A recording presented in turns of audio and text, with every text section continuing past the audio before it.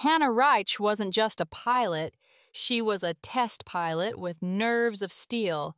In 1937, she became the first woman to fly a helicopter and later, the first to fly a rocket powered aircraft and a jet fighter.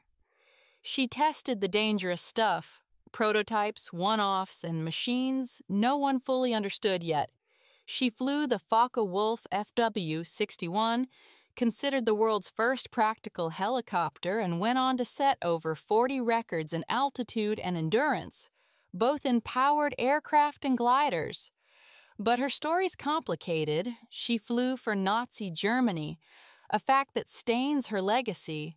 Still, her technical contributions and fearless flying pushed aviation forward.